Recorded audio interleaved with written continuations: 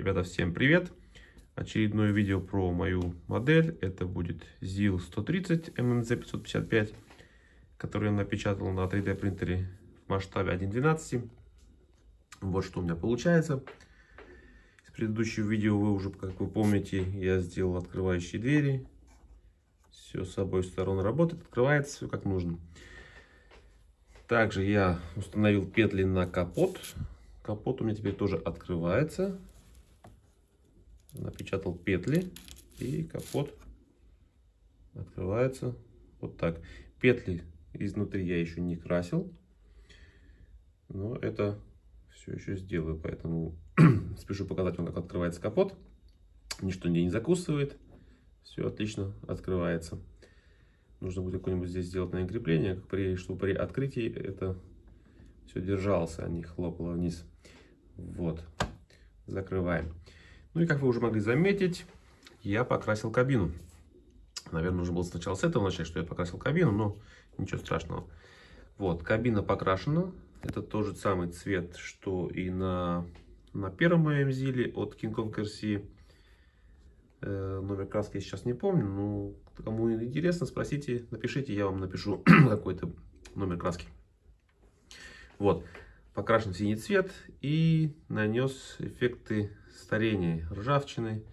Делаю это второй, второй раз, так что сильно не судите, не ругайте. Вот что у меня получилось. Не хотел я делать его таким чистеньким, красивеньким, как будто только с конвейера. А именно такой вот рабочий ЗИЛ. Думаю, вот переднюю решетку надо, наверное, еще немножечко что-нибудь с ней сделать. Так она сильно такая чистенькая, кажется. Если сравнивать с э, кабиной, то решетка передняя, она как-то более чистенькая. Вот. Да, здесь будут еще фары. Там это все окрасится еще внутри в хром, как отражатель будет. Сверху поворотники, по бокам тоже поворотники. Сверху, может быть, будет, э, будут огни автопоезда, но я еще это не решил. Вот. Надпись ZIL тоже имеется. Вот она надпись ZIL. Ну и вот они, в принципе, мои эффекты. Вот что у меня получилось. Надеюсь, что не слишком я его запачкал. Бампер также я состарил. У меня оставался еще от э, King Kong RC. Это не печатный бампер. И также клыки.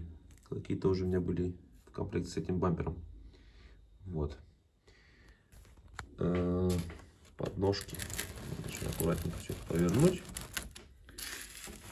Чтобы все это не упало. Вид сбоку. Вид сзади. Вроде так ничего. Ну и крыша. Крыша я уже там на крыша. Тоже состарена. Вот такая вот получилась крыша. Обвел вокруг, вокруг лобового стекла. Сделал имитацию резинки уплотнителя. Тоже все это есть. И, соответственно, на форточках. Так, теперь переходим к салону. Салон тоже уже на месте. Наверное, лучше для наглядности снимем крышу. Вот. Вот он салон. руль, руль в оплетке. Сиденья окрашены. Ну и циферблат тоже приклеены. Единственный минус э, в этой модели, здесь нет дверных карт. Здесь нет ни ручек, ничего такого, ни это этой имитации. Если заморочиться, конечно, можно все это сделать, но здесь этого нет. Я тоже не стал это делать. Панель есть, сиденье есть, руль есть. Больше мне ничего не надо. Когда будет стоять здесь крыша, всего этого все равно не будет видать, видно. Вот, вот она такая вот крыша. Да, нужно сделать остекление самому. Как я это буду делать с лобовым стеклом, я еще не знаю. Посмотрю, может, с какой-нибудь упаковки придется взять пластик из него что-то там придумать. Да, подножки тоже у меня состарены. Сейчас плохо видать здесь. Э, вот там видать, что и ржавчина есть, и пыль, и грязь, и все, все, все, все, все. Как я это делаю, я в этом деле не мастер. Э, как я это делаю, сейчас я вам скажу.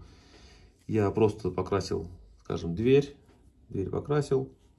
И у меня есть сухие пигменты разных цветов, разных оттенков. И просто наносил на почти что высохшую краску, втирал это все кисточкой, либо кисточкой, либо пальцами, руками точнее. И вот что получается. Это уже не смыть, да, она смешивается вместе с краской. И получается вот такой вот эффект старения. Да, нужно еще на этом всему этому нормально научиться, так как, ну, видать, что это делал не профи. А так, ну, мне нравится, честно скажу, мне нравится. Такой ЗИЛ, который давно, именно поздний, именно с такой вот рамкой. Диск, э, диски передние тоже я уже состарил. Вот что у меня получилось.